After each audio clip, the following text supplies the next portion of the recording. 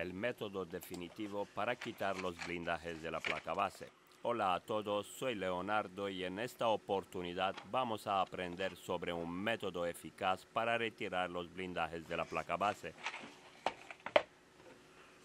Hoy en mis manos tengo dos mini Dremel, conocidas también como herramientas de corte de precisión.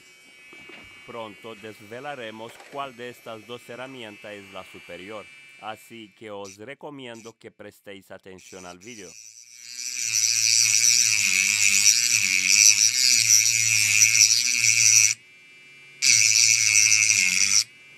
Si te dedicas profesionalmente a la reparación de móviles, creo que por su costo estas herramientas son indispensables en tu laboratorio.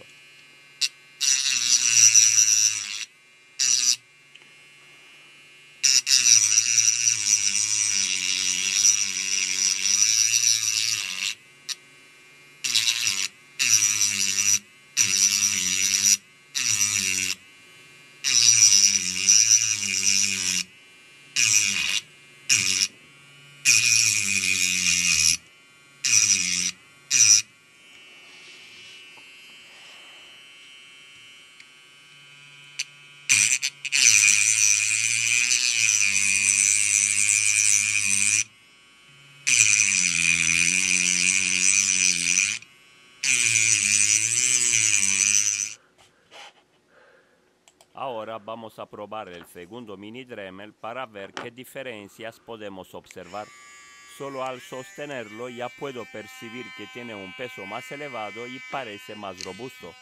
Vamos a ver cómo corta y luego con la ayuda de un microscopio podremos analizar el resultado de una manera más detallada.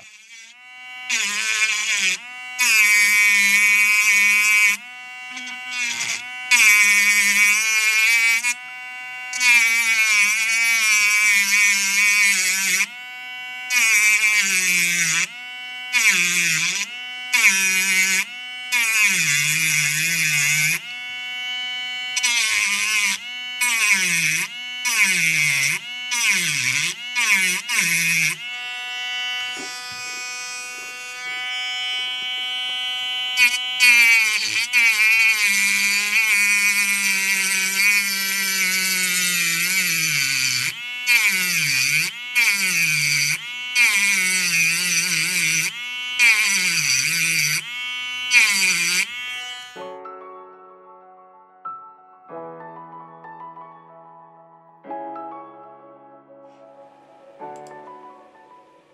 Pasamos al microscopio para examinar de cerca los cortes.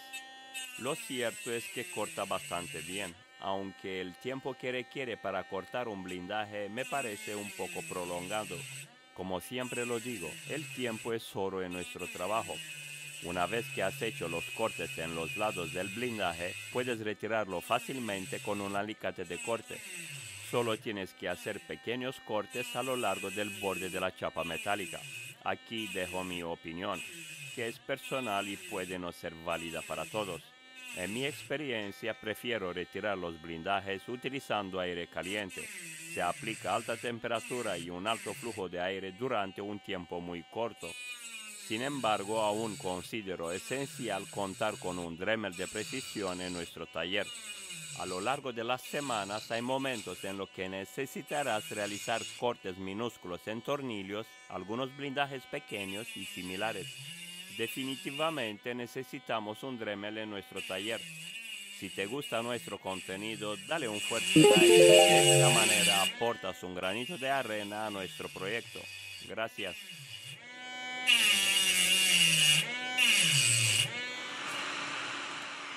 Ahora vamos a demostrar nuestro método de remover los blindajes usando la estación de aire caliente. Utilizo una temperatura de 400 grados Celsius con un 80% de flujo de aire. En apenas 30 segundos tenemos el blindaje fuera de la placa base. Para mí este es el mejor método para quitar los blindajes de la placa. Eso sí, necesitas tener un poco de experiencia y superar el miedo inicial. Con este método no sobrecalentarás la placa porque la temperatura de los circuitos no llegará al punto de fusión de 220 grados Celsius. El truco está en trabajar sin boquilla para distribuir el calor en una zona más amplia y mover la boquilla en círculos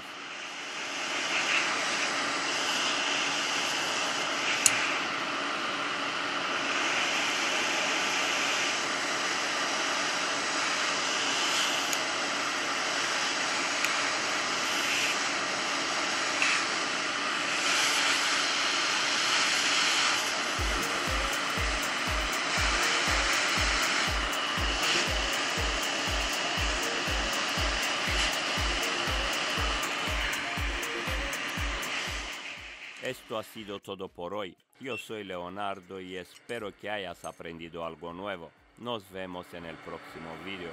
Un saludo.